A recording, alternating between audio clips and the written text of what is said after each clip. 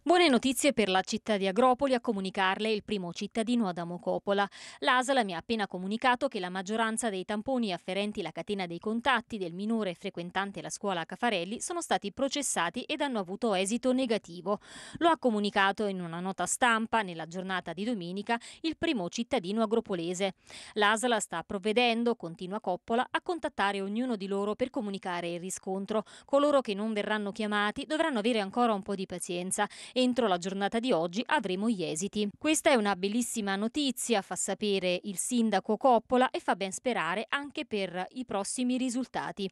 Scenario invece diverso per la squadra di calcio agropolese che nei giorni scorsi ha registrato la positività di un calciatore. Il ragazzo è originario del napoletano e dopo aver scoperto di aver avuto contatti con una persona a lui vicina risultata positiva al Covid-19 si è messo in autoisolamento in attesa del tampone che purtroppo nella giornata di domenica 18 18 ottobre ha dato esito positivo.